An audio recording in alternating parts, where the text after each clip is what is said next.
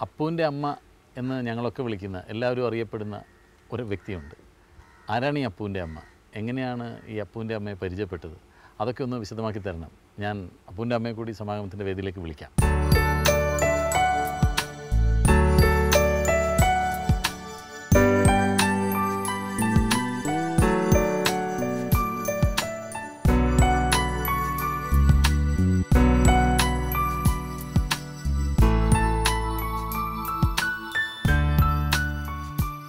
എന്താണ് സാർ അപ്പുവിന്റെ അമ്മ എന്ന് വിളിക്കാനുള്ള കാരണം? ഇവരെ മകനാണ് അപ്പു. അപ്പു ഗോവയിലാണ്. എന്റെ വളരെ വേണ്ടപ്പെട്ട ഒരു കുട്ടിയാണ്. എന്റെ ഒരു മരുമകനെ പോലെ. എന്റെ വേറെ ഒരു മരുമകന്റെ ക്ലാസ്മേറ്റൊക്കെയാണ് അപ്പു എന്നെ അവിടേക്ക് ഒരു മീറ്റിങ്ങിന് വിളിച്ചു. വരണം. പിന്നെ എന്താണ് കോഴിക്കോട് ഫ്ലൈറ്റ് ഉണ്ട്.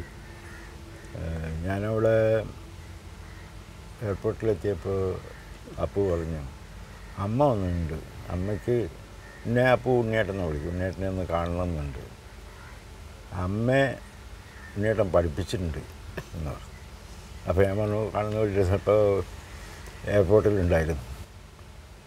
അപ്പോഴാണ് എനിക്ക് ആ പഴയ ഞാൻ ബട്ടാമ്പി സ്കൂളിൽ ഇവരൊക്കെ അന്ന് ചെറുപ്പം കുട്ടികൾ കാലം ഇവരിപ്പോൾ മക്കൾ മക്കളുടെ മക്കൾ ഒക്കെ ആയിട്ട് ആണ് അപ്പോൾ ആ കാലം ഞാൻ മനസ്സിൽ ഓർമ്മിച്ചു.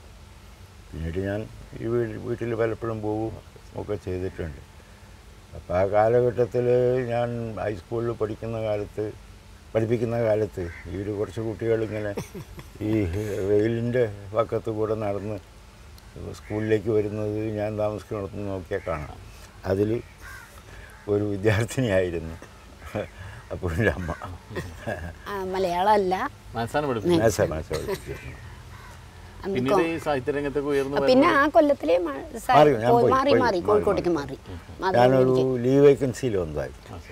അപ്പോൾ ഈ മാത്സ് പഠിപ്പിക്കാൻ കാരണം കാരണം ഹെഡ്മാഷ് പറഞ്ഞു. ഇനിയിപ്പോൾ നടുവിൽ വെച്ചിട്ട് ഈ സിലബസും ടൈം ടേബിളും ഒക്കെ മാറ്റാൻ കുറച്ച് പ്രയാസമാണ്. അവിടുന്ന് വിട്ടുപോയ ആൾ മാത്സിന്റെ മനസ്സിന്റെ ഞാൻ പറഞ്ഞു ഞാൻ പഠിപ്പിച്ചോളാം അങ്ങനെ.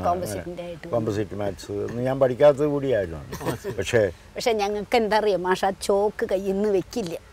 ഒന്നും ഇരിക്കില്ല ആ ക്ലാസ് പറഞ്ഞാൽ ഇന്നും മനസ്സിൽ കാണുകയാണത് അന്നേ വളരെ ഏത് കുട്ടിയും ആകർഷിക്കും ക്ലാസ്സിൽ ഇരിക്കണ ക്ലാസ് എടുക്കുന്ന രീതി ആ രീതി.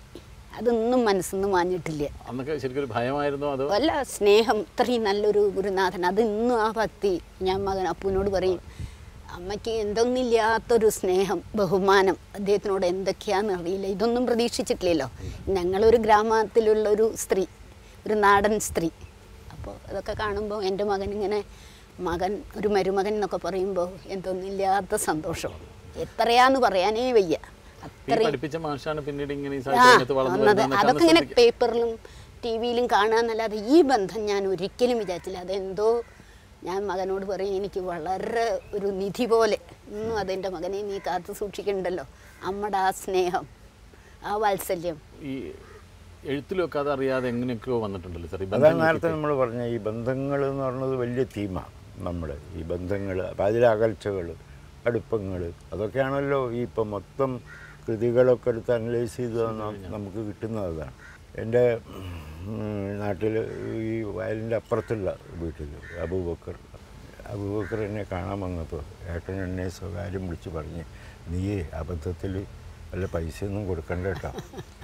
കാരണം അവരിപ്പോൾ വളരെ സൗകര്യത്തിൽ കഴിയുന്ന ആളുകളാണ് അപ്പോൾ നീ വല്ല പഴയ രീതി ആലോചിച്ചിട്ട് പൈസ എടുത്ത് എന്തെങ്കിലും. പൈസയൊക്കെ എടുത്ത് കൊടുക്കുക നമ്മൾ അത് പ്രശ്നമൊന്നുമില്ല. അപ്പം ഞാൻ പറഞ്ഞ ആകെ എന്താ വെച്ചാൽ ഈ വയ്യാത്തോടത്ത് അവിടുന്ന് ഇങ്ങനെ നടന്ന് എന്നെ കാണാൻ ഇങ്ങോട്ട് വരേണ്ടിയിരുന്നു. അറിയിച്ചാൽ വരെ ഞാനവിടെ വന്ന് കണ്ടിട്ട് പോവില്ലേ? അവർക്ക് അതൊക്കെ മതി. അപ്പം ആ മാതിരത്തെ ചില പരിചയങ്ങൾ ബന്ധങ്ങൾ നമുക്കത് വലിയ കാര്യം. നാട്ടിൻപുറം നന്മകളാൽ സമൃദ്ധമൊന്നും അല്ല. അതൊക്കെ കുറേ മാറിയിരിക്കുക എന്നാലും കുറച്ച് അതിൽ ഈ നന്മകളും ബന്ധങ്ങളൊക്കെ അവശേഷിച്ചിട്ടുണ്ട്.